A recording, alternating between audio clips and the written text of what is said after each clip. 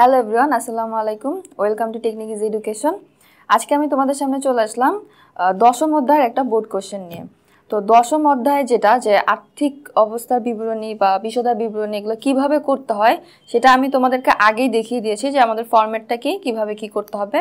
তো তোমরা যদি সেই পর্বটা দেখে না থাকো, তাহলে এই অঙ্কটা দেখার আগে সেই পর্বটা দেখে নিলে আমার মনে হয় যে তোমাদের সুবিধা হবে। তো ওই অধ্যায় থেকে আমি নিয়মটা দেখিয়েছিলাম বাট অঙ্ক করা হয়নি। তো আজকে একটা বোর্ড কোশ্চেন সলভ করে তোমাদেরকে দেখাবো যে ওই নিয়মটা আমরা অঙ্কে কীভাবে অ্যাপ্লাই করব। তো ফার্স্টে আমাদের যেটা করতে হবে যে আমাদের প্রশ্নটা পড়তে হবে। তো ফার্স্টে আমরা দেখি কি লেখা আছে। সাপলো অ্যান্ড কং এর দুই সালে তিরিশ জুন তারিখে রেয়ামিল নিম্নরূপ। আমরা জানি যে যে আর্থিক বিবরণীটা আমরা কোথা থেকে করব? রেয়ামিল থেকে করব। তো এই জন্য আমাদের একটা রেয়ামিল দেওয়া আছে। তো রেয়ামিলে কি? বরাবরের মতো যে নিয়ম অনুসারে যে হিসাবের নাম, দেন কোনটা ডেবিট, কোনটা ক্রেডিট, সেটা টাকা লেখা আছে। আর তারপরও রেয়ামিলের নিচে দুই একটা লাইন লেখা থাকে, যেটা আমি আগেও ওই পর্বগুলোতে বলেছিলাম। তো এই লাইনগুলোকে বলা হয় কি? সমন্বয়। তো এই সমন্বয়ের কাজগুলো কি হবে? আমাদের অঙ্কে নিয়ে আসতে হবে। তো অঙ্ক করার আগে আমরা ফার্স্টে যেই কাজটা করব, সেটা হচ্ছে একটু দাগ দিয়ে আমাদের হিসাবের নামের সাথে টাকাটা মিলিয়ে নিব। যদি হিসাবের নামের সাথে টাকাটা মিলিয়ে নাও তাহলে কি হচ্ছে? পরীক্ষা যখন তুমি অ্যান্সারটা লিখবে, তখন তোমার জন্য খুব মানে খুব তাড়াতাড়ি তুমি দেখতে পাবে, সহজ হবে। নয়তো আমাদের অনেকের কি প্রবলেম হয়? এই দাগটা না দেওয়ার কারণে যে একটার টাকা আমরা অন্যটায় লিখে ফেলি, তারপরে পুরা অঙ্কটাই ভুল হয়ে যায়। আর যেহেতু এই অঙ্কটা খুবই ইম্পর্টেন্ট আমরা জানি যে আমাদের মাস টোয়েন্টি নাম্বার এই অঙ্ক থেকে আসবে সো খুব কেয়ারফুলি এটার অ্যান্সার করতে হবে। তো আমরা হচ্ছে দাগটা দিয়ে নিব, তারপরে আমরা সেকেন্ড যে কাজটা করব সেটা হচ্ছে সমন্বয়গুলো পড়ে নিব। সমন্বয়গুলো পড়ে এই সমন্বয়গুলোর সাথে আমার রেয়া মিলের যে হিসাবগুলো আছে সেটার সাথে কোন কাজ সেটা একটু দাগ দিয়ে নিব। আচ্ছা আমরা পড়ি ফার্স্টে বলা আছে এক নম্বরে সমাপনী মজুদ পণ্য পঁয়ত্রিশ হাজার টাকা। তো এইটা হচ্ছে সমন্বয় থাকে, এটা রেয়া মিলের কোনো সাথে, কোনটার সাথে রিলেশন নেই। তারপরটা দেখি, দেনাদারের দুই হাজার পাঁচশো টাকা আদায়যোগ্য নয়। আচ্ছা তো দুই দেনাদারের দুই হাজার পাঁচশো টাকা আদায়যোগ্য নয়। তাহলে হচ্ছে আমাদের রেয়া মিল আমরা খুঁজবো দেনাদার আছে কি না আমরা যদি খুঁজে দেখি হ্যাঁ আমাদের একটা দেনাদার আছে, তাহলে আমরা দেনাদার একটা দাগ দিয়ে রাখলাম। তারপরে আমাদের আরেকটা কথা মনে রাখতে হবে, সেটা হচ্ছে যে সমন্বয়ের প্রত্যেকটা সমন্বয়ের কাজ দুইবার হবে। প্রত্যেকটা সমন্বয়ের কাজ দুইবার হবে। তো যেহেতু দুইবার হবে, একবার কার সাথে কাজ হবে, দেনাদারের সাথে কাজ হবে, আমি দাগ দিয়ে নিলাম। তো আরেকবার কাজ, কার সাথে হবে? তো দেনাদারের দুই হাজার পাঁচশো টাকা আদায়যোগ্য নয়। দেনাদারকে যে যার কাছ থেকে আমি টাকা পাবো, তো সেই দেনাদারের টাকা আমার আদায়যোগ্য নয়। মানে হচ্ছে আমি তার কাছ থেকে টাকা পাবো বাট সেই টাকাটার আদায়যোগ্য নয়। কোনো কারণে সে আমাকে দিবে না। তো যদি দেনাদারের কাছ থেকে টাকাটা আদায়যোগ্য না হয়, তাকে কি বলে? তাকে বলে হচ্ছে কুরিন। তাহলে একটা কাজ যেহেতু দেনাদারের সাথে হবে, আরেকটা কাজ কোথায় হবে? কুরিনের সাথে। তো তাহলে আমরা ছকে খুঁজবো কুরিন আছে কিনা। তো ছকে আমরা দেখতে পাচ্ছি কুরিন আছে, তাই কুরিনে একটা দাগ দিয়ে নিলাম। তো দুই নাম্বার সমন্বয়ের কাজটা আমরা দেখে নিলাম, দেন তিন নাম্বার। তিন নম্বরে বলা আছে, ভোক্তাদের নিকট বিনামূল্যে পণ্য বিতরণ দুই হাজার টাকা হিসাবভুক্ত হয়নি। তো বিনামূল্যে পণ্য- বিতরণকে বলা হয় বিজ্ঞাপন। তাহলে আমরা ছকে দেখব বিজ্ঞাপন আছে কিনা। বিজ্ঞাপন আছে, এখানে স্পেলিংটা ভুল আসছে, এখানে ম হবে না, এখানে হবে ব। বিজ্ঞাপন আরেকটা হচ্ছে একবার তো কাজ পেয়ে গেলাম দেন কি হচ্ছে, এক মানে বিনামূল্যে যদি আমি পণ্য দিই, সেটা বিজ্ঞাপন হচ্ছে। আর আমি যে আমার ব্যবসা থেকে বিনামূল্যে মানুষকে পণ্য দিচ্ছি, তার ফলে কি হবে? আমার ব্যবসায় যে পণ্যগুলো ছিল, আমি বিক্রি করার জন্য নিয়ে আসছিলাম, সেগুলো কমে যাচ্ছে। তাহলে পণ্যগুলোকে কি বলা হয়? ক্রয়। তো তাহলে আরেকবার কাজ কোথায় হবে? ক্রয়ের সাথে হবে। তো আমরা ক্রয় একটা দাগ দিয়ে রাখলাম। তারপরে চার নম্বরে কি বলা আছে? বেতন বকেয়া আছে পাঁচ হাজার টাকা। তো বেতন যদি পাঁচ হাজার টাকা বকেয়া থাকে, কাজ কার সাথে হবে? বেতনের সাথে হবে। তো ছক থেকে আমি বেতন বের করে দাগ দিয়ে নিলাম। আরেকবার কই কাজ হবে সেটা আমরা অঙ্কে দেখব, সেটা এখানে নেই। আচ্ছা তো যেহেতু আমরা কোশ্চেনটা বুঝে গেছি, এখন উদ্দীপকটা বুঝে গেছি, এখন দেখি কোশ্চেনে কি চাওয়া আছে। কতে চাওয়া আছে, সাপলু অ্যান্ড কং এর চলতি দায়ের পরিমাণ নির্ণয় করো। খতে বলা আছে, মোট মুনাফা বা ক্ষতির পরিমাণ নির্ণয় করো। আর গতে বলা আছে পরিচালন মুনাফা নির্ণয় করো। তো ফার্স্টে আমরা ক দিয়ে শুরু করি। যেটা চেয়েছে যে চলতি দায়ের পরিমাণ নির্ণয়। আচ্ছা তো এখানে আমরা ছকটা করে রেখেছি। চক কীভাবে করতে হয় তোমরা জানোই যে বিবরণের একটা ঘর আর দুটা হচ্ছে টাকার ঘর। তো যেহেতু চলতি দায় বের করতে বলেছে, আমরা উপরে লিখে নিয়েছি যে সাপলো অ্যান্ড কং এর মোট চলতি দায়ের পরিমাণ। এখন চলতি দায় কোনটা? আমার হচ্ছে দায় নিয়েও একটা পর্ব করা আছে, যেখানে পর্বটার নাম হচ্ছে দায় কি? তো তোমরা যদি ওই পর্বটা দেখে থাকো, তাহলে অবশ্যই তোমরা জানো চলতি দায় কোনগুলো। তারপরে আমি আরেকটু বলি, চলতি দায় নর্মালি দায় কোনটা জানি আমরা? যে যদি আমি ঋণ নেই, তাহলে আমার দায় হয়। আরেকভাবে দায় হয়, সে যদি আমি বাকিতে কিছু কিনে থাকি। তো চলতি দায় আবার এর মধ্যে কোনটা? যে দায়গুলো হচ্ছে, যেগুলো সময়সীমা হচ্ছে এক বছরের মধ্যে। এক বছর বা তার কম সময়ের জন্য যে দায়গুলো সৃষ্টি হয় সেগুলো হচ্ছে চলতি দায়। তাহলে এখন আমরা এখন আমরা কোশ্চেন থেকে দেখব যে আমার চলতি দায় কোনগুলা। তো ফার্স্টে আমরা দেখি, কি লেখা আছে? ক্রয় ও বিক্রয়। ক্রয় হচ্ছে ব্যয়, বিক্রয় হচ্ছে আয়। ফেরত, ফেরতটা দায় না, পরিবহন দায় না, কুরিন ও কুরিন সঞ্চিতি, এটাও দায় না, উপভাড়া হচ্ছে আয়, বেতন হচ্ছে ব্যয়, শুল্ক হচ্ছে ব্যয়, দেনাদার ও পাওনাদার। তো দেনাদারটা আমরা জানি যে দেনাদারকে যার কাছ থেকে আমি টাকা পাবো, যার কাছ থেকে আমি টাকা পাবো, সে হচ্ছে দেনাদার আর দেনাদার মানে হচ্ছে সম্পদ। বাট পাওনাদার, পাওনাদারকে যে আমার কাছ থেকে টাকা পাবে, যদি কেউ আমার কাছ থেকে টাকা পায়, আমরা তাকে বলব পাওনাদার। সো তো পাওনাদার যে আমার কাছে টাকা পাবে, তার কাছে কি আমি, তার কাছে হচ্ছে আমি টাকাটা দেওয়ার জন্য দায়বদ্ধ। আর এই দায়টাকে কি বলা হয়? চলতি দায় বলা হয়। কারণ কারণ এই দায়টা সময়সীমা হচ্ছে এক বছরের কম সময়ের জন্য। তাহলে আমরা ছকে লিখতে পারি যে পাওনাদার। তো ছকে আমরা লিখে ফেলি বিবরণের ঘরে।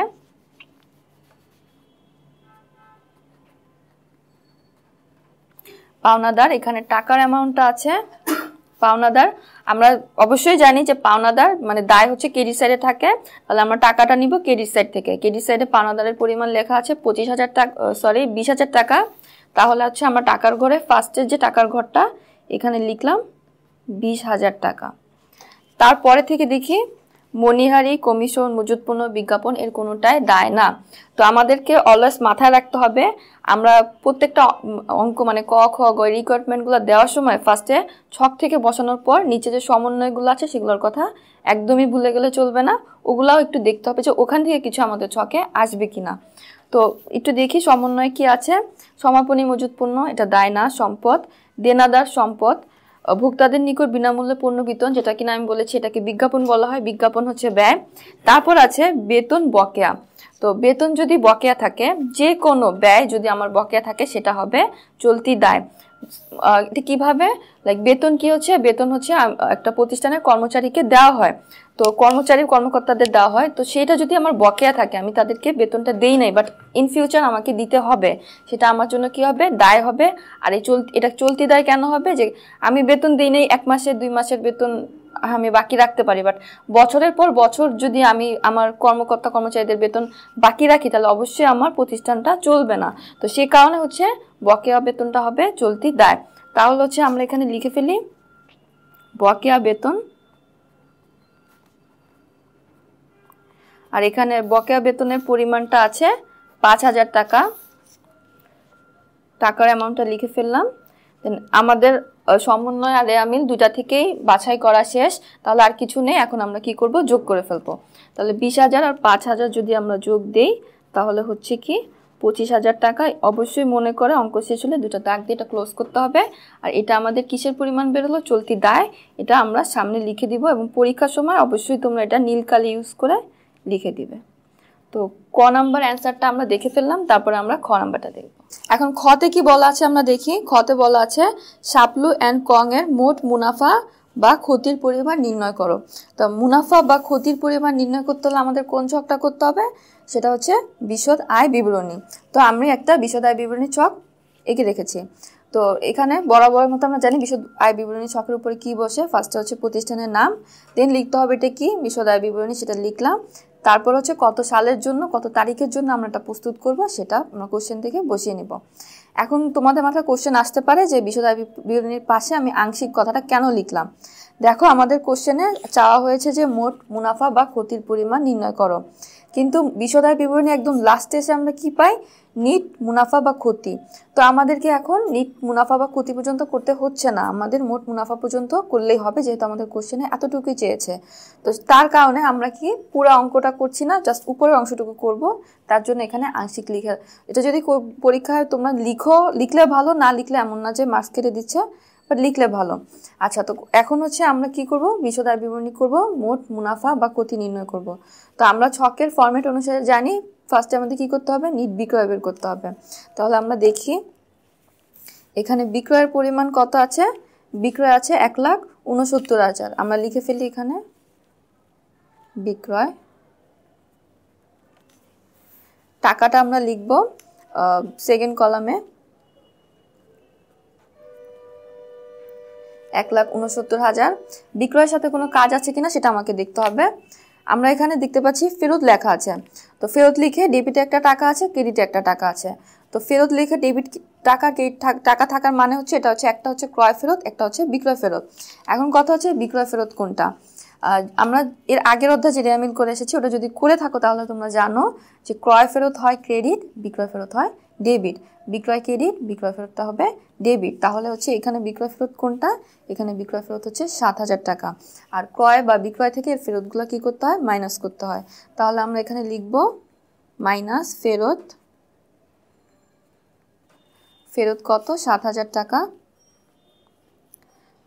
আর অ্যাকাউন্টিংয়ে কী করতে হবে? মাইনাস চিহ্ন দেওয়া যাবে না। যেটা মাইনাস সেটার বদলে ব্র্যাকেট চিহ্ন দিতে হবে।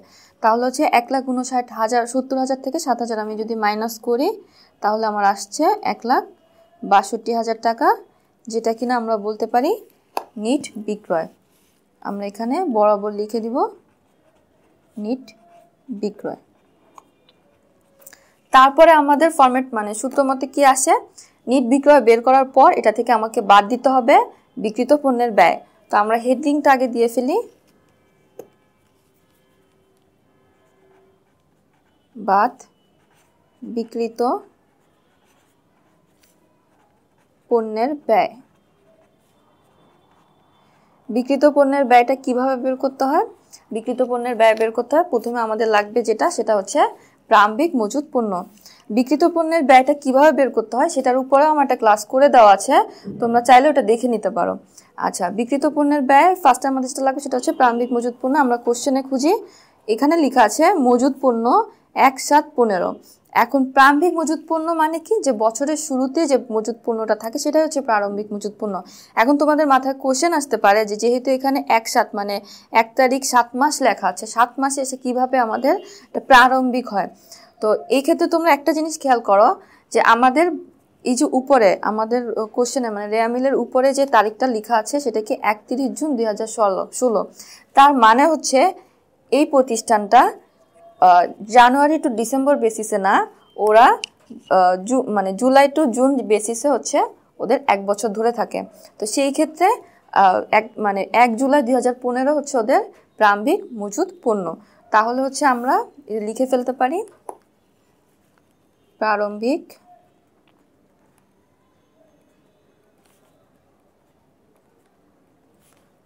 প্রারম্ভিক মজুদ পণ্য, যেটা টাকার অ্যামাউন্টটা বলা আছে পনেরো হাজার পাঁচশো টাকা।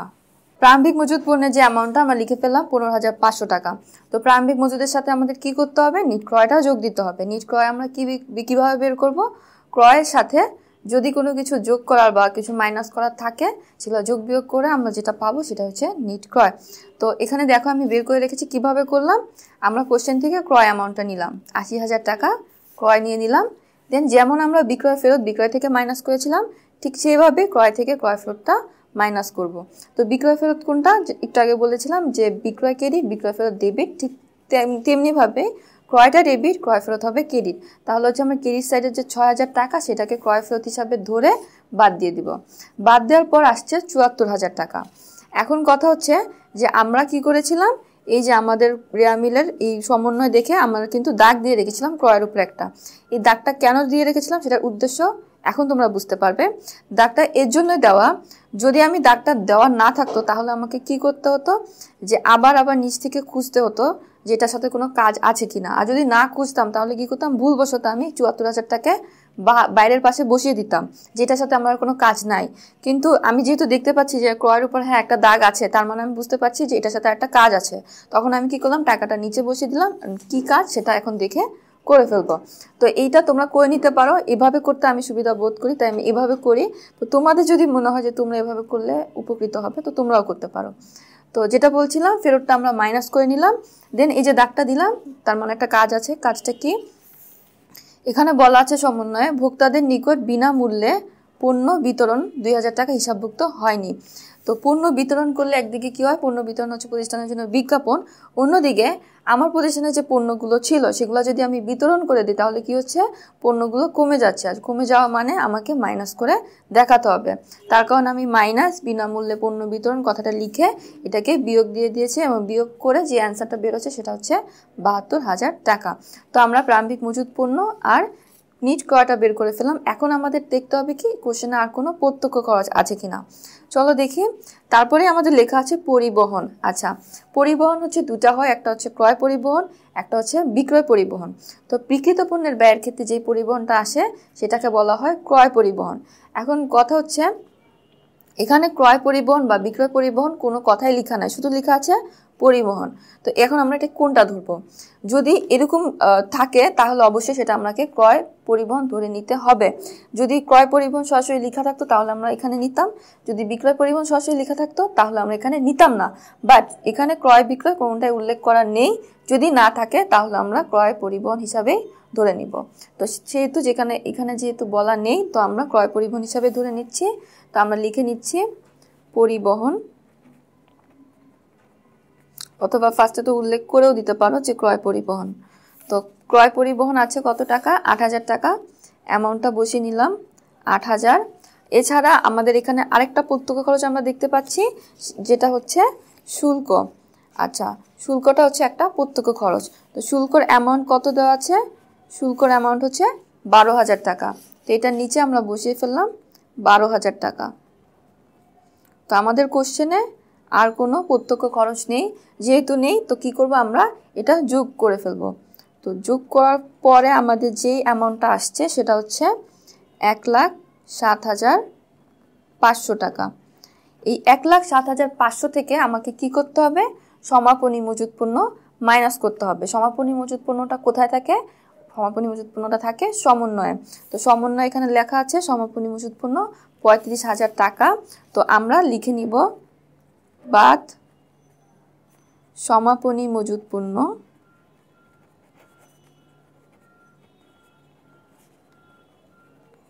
পঁয়ত্রিশ হাজার টাকা, যেটা এক লাখ সাত হাজার পাঁচশো থেকে মাইনাস হবে এবং এ মাইনাস হলে এটার অ্যান্সারটা আসছে বাহাত্তর হাজার পাঁচশো টাকা। তো পেয়ে গেলাম আমাদের বিকৃত পণ্যের ব্যয়। তো সূত্র মধ্যে কী করতে হবে? নিট বিক্রয় থেকে বিকৃত পণ্যের ব্যয়টা বাদ দিতে হবে। তো বিকৃত পণ্যের ব্যয়টা আমরা বের করে ফেললাম, এখন আমরা নিট বিক্রয় থেকে বাদ দিয়ে দিব। তো যদি বাদ দিই, তাহলে আমাদের অ্যামাউন্টটা দাঁড়াচ্ছে উননব্বই হাজার পাঁচশো টাকা। আর এটাই হচ্ছে আমাদের মোট মুনাফা। আমাদের কোশ্চেনে বলা আছে, মোট মুনাফা বা ক্ষতির পরিমাণ নির্ণয় করো। তো আমরা কীভাবে বুঝলাম এটা মোট মুনাফা? যেহেতু আমাদের অ্যান্সারটা পজিটিভ আসছে মানে প্লাস অ্যান্সার প্লাস অ্যান্সার আসছে। যদি আমাদের অ্যান্সার প্লাস আসে, তাহলে এটা হবে মোট মুনাফা। আর যদি মাইনাস আসে, তাহলে আমরা ধরে নিব এটা হচ্ছে মোট ক্ষতি। তো এটা বরাবর আমরা লিখে নিলাম মোট মুনাফা। সো আমাদের মোট মুনাফাটা বের করা হয়ে গেছে। এখন আমরা গ নাম্বার অ্যান্সারটা কীভাবে করব, সেটা দেখব। গ নাম্বার প্রশ্নে আমাদের বলা আছে, সাপলো অ্যান্ড কং এর পরিচালন মুনাফা নির্ণয় করো। তো এখন পরিচালন মুনাফা কীভাবে করতে হয় সেটা আমি দেখাবো। তো পরিচালন মুনাফার জন্য আগের মতে আমরা ছক কেটে নিব, যে সাপলো অ্যান্ড কং বিশদায় বিবরণী দেন হচ্ছে তারিখটা লিখব, বিবরণ আর টাকার তিনটা ঘর। আচ্ছা তো পরিচালন মুনাফা বের করতে হবে কীভাবে? যে আমরা একটু আগে খতে যে অংশটা করলাম, মোট মুনাফা, সেই অ্যান্সারটা দিয়েই। তো এখানে ফার্স্টে আমরা লিখে নিব যে মোট মুনাফা। লিখে নিচ্ছি, মোট মুনাফা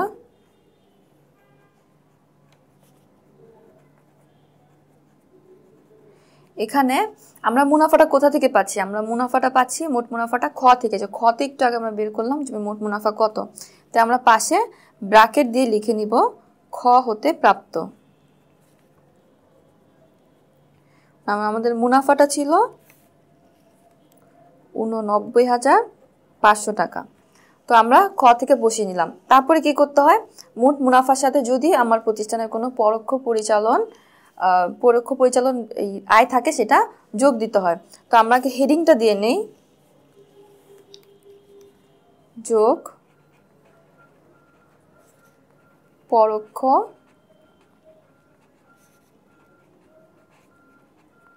পরিচালন সরি পরোক্ষ পরিচালন আয়। তো পরোক্ষ পরিচালন আয়টা আমাদের হচ্ছে দুইটা থাকে। সবসময় পরোক্ষ পরিচালন আয় মনে রাখবি দুইটা, একটা হচ্ছে কমিশন প্রাপ্তি আর একটা হচ্ছে বার্তা প্রাপ্তি। তো আমরা এখন কোশ্চেন থেকে খুঁজি যে বার্তা প্রাপ্তি আর কমিশন প্রাপ্তি আছে কিনা। তো তোমরা এখানে দেখতে পাচ্ছ বার্তা নামের কিছু নেই, কমিশনটা আছে। তো কমিশনে এখানে দুইটা টাকা লেখা আছে, একটা হচ্ছে ডেবিট টাকা, একটা হচ্ছে ক্রেডিট টাকা। তো ডেবিটটার মানে হচ্ছে প্রদত্ত কমিশন আর ক্রেডিটটার মানে হচ্ছে প্রাপ্ত কমিশন। তো আমি একটু আগে বললাম যে আমরা পরোক্ষ পরিচালনা আয় কোনটা ধরবো? কমিশন প্রাপ্তি আর বার্তা প্রাপ্তি।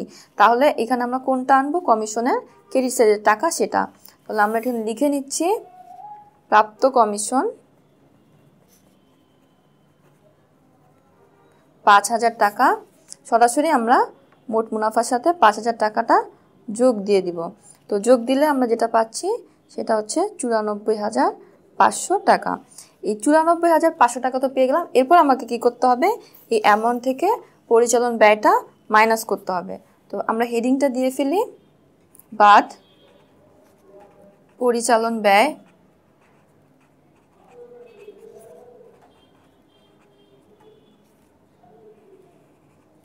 আচ্ছা বেতন এখানে সতেরো হাজার পাঁচশো টাকা। তো আমরা বেতনটা বসিয়ে নিলাম, পরিচালন ব্যয়ের মধ্যে সতেরো হাজার পাঁচশো টাকা। তারপরে আমাদের কি করতে হবে? যে যেহেতু আমি বেতনের সাথে একটা দাগ দিয়ে রেখেছি, তার মানে হচ্ছে বেতনের সাথে কোনো কাজ আছে। তো কি কাজ আছে?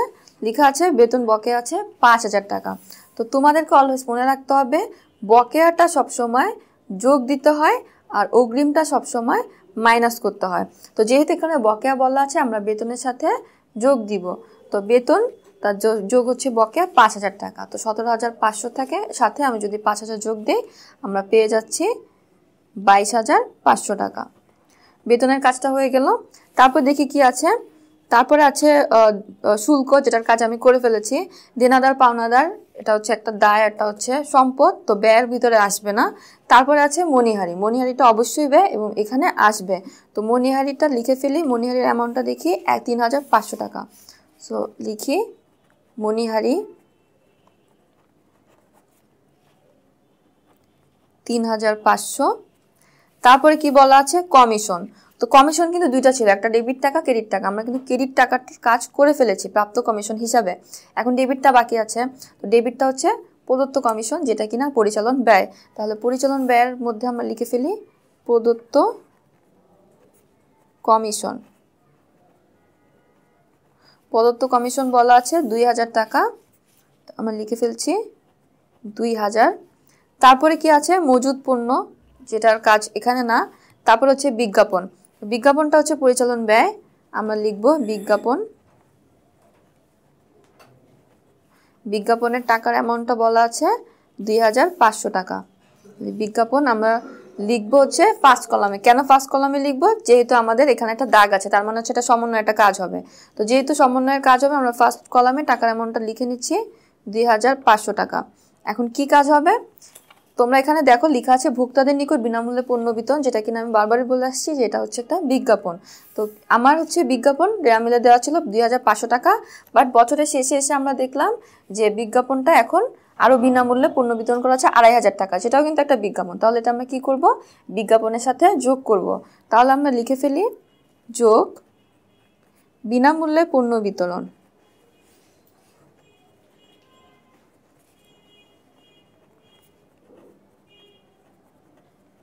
বিনামূল্যে পণ্য বিতরণ বলা আছে দুই হাজার টাকা। তাহলে হচ্ছে দুই হাজার পাঁচশোর সাথে আমরা দুই হাজার টাকা যোগ দিয়ে দিব। তাহলে আমাদের আসছে চার হাজার পাঁচশো টাকা। তো মোটামুটি এখানে সবগুলো হয়ে গেছে, কিন্তু একটা আমি স্কিপ করে গিয়েছিলাম, সেটা কি? কুরিন। তো কুরিনের কাজটা এখন করব। আচ্ছা কুরিনের কাজটা শেষে করতে হবে এমন না, শেষে করছি কারণ এটা একটু ঝামেলাপূর্ণ। তো এর জন্য একটু শেষে রাখলাম। তো কুরিন আগে আমরা লিখে নিই কুরিন কুরিন, কুরিনের টাকা কত বলা আছে? দুই হাজার টাকা। এখানে কুরিন ও কুরিন সঞ্চিতি দুইটা একসাথে বলা আছে। আমাদের মনে রাখতে হবে ডেবিট অ্যামাউন্টটা হচ্ছে কুরিনের আর ক্রেডিট নাম অ্যামাউন্টটা হচ্ছে কুরিন সঞ্চিতির। তো কুরিনের যে অ্যামাউন্টটা দুই হাজার টাকা, সেটা আমরা লিখে ফেলব ভিতরের ঘরে, কারণ এটার সাথে একটা কাজ আছে। আচ্ছা কি কাজ আছে? আমরা নিচে দেখি, লেখা আছে, দেনাদারে দুই হাজার পাঁচশো টাকা আদায়যোগ্য নয়, দেনাদারের দুই হাজার পাঁচশো টাকা আদায়যোগ্য নয়। মানে হচ্ছে কি কুড়িন কোনটা, যেটা আমি আর দেনাদারের কাছ থেকে পাবো না। তো আমাদের রেয়া মিলে আমাদের বলা ছিল যে আমরা পাবো না, এমন একটা পরিমাণ হচ্ছে দুই হাজার টাকা। বাট আমরা বছরের শেষে এসে আবার দেখতে পাচ্ছি, আমি দেনাদারের কাছ থেকে আবার দুই হাজার পাঁচশো টাকা পাবো না। তাহলে এটা কি? নতুন কুড়িন তো এই কুড়িনটা আমরা যোগ দিয়ে ফেলব। তাহলে আমরা লিখি যোগ নতুন কুড়িন নতুন কুড়িন অ্যামাউন্টটা বলা আছে দুই হাজার পাঁচশো টাকা। তো কুড়িনের সাথে নতুন কুড়িন আমরা যোগ দিয়ে বের করে ফেলাম চার হাজার পাঁচশো টাকা। এটা নিচে লেখার কারণ হচ্ছে এটার সাথে এখন একটা কাজ আছে। কাজটা কি? সেটা হচ্ছে পাশে লেখা আছে কুড়িন সঞ্চিতি। তো আমাদের মনে রাখতে হবে কুড়িনের সাথে কুড়িন যোগ যায় বাট কুড়িন সঞ্চিতিটা মাইনাস হয়। তাহলে আমরা লিখতে লিখতে পারি যে মাইনাস পুরাতন কুড়িন সঞ্চিতি। পুরাতন কুড়িন সঞ্চিতিটা হচ্ছে তিন হাজার পাঁচশো টাকা। তো চার হাজার পাঁচশো থেকে আমরা তিন হাজার পাঁচশোটা মাইনাস করে দিলে যেটা পাচ্ছি এক হাজার টাকা। তোমাদের মনে কোশ্চেন আসতে পারে যে নতুন কুড়িন আর পুরাতন কুড়িন এই কথাটা আমরা কেন লিখলাম? আমাদের অলওয়েজ মনে রাখতে হবে যে আমাদের রেয়া মিলে যেটা থাকবে সেগুলো হচ্ছে পুরাতন আর আমাদের সমন্বয় যেটা থাকবে সেটা হচ্ছে নতুন। মানে রেয়া মিলে যে কুড়িনটা থাকবে, সেটা আমরা ধরবো পুরাতন কুড়িন বা পুরাতন কুড়িন সঞ্চিতি। আর আমাদের সমন্বয় যেটা থাকবে, সেটা হবে নতুন কুড়িন বা নতুন কুড়িন সঞ্চিতি। তো কুড়িন সঞ্চিতি কীভাবে বের করতে হয়, সেটা নিয়েও আমার একটা পর্ব করা আছে। যদি ওটা দেখে থাকো, তোমাদের জন্য আরও বেশি ভালো হবে। তো যেটা যা বলছিলাম, তো এখন হচ্ছে আমাদের সব পরিচালন ব্যয়গুলো বসানো হয়ে গেছে। তো যেহেতু বসানো হয়ে গেছে, আমরা কি করব, পরিচালন ব্যয়গুলো যোগ দিয়ে দিব। যোগ দিয়ে দিলে আমার এখানে আসছে তেত্রিশ হাজার পাঁচশো টাকা। আর আমাদের কি করতে হবে? পরিচালন ব্যয়টা এখান থেকে মাইনাস করতে হবে। তাই আমরা মাইনাস চিহ্ন দিয়ে মাইনাস করে অ্যান্সারটা বসিয়ে দিব। মাইনাস করলে আসছে একষট্টি হাজার টাকা, যেটা কিনা একটা পজিটিভ অ্যান্সার মানে প্লাস অ্যান্সার তার মানে হচ্ছে এখানে আমরা কি পাচ্ছি?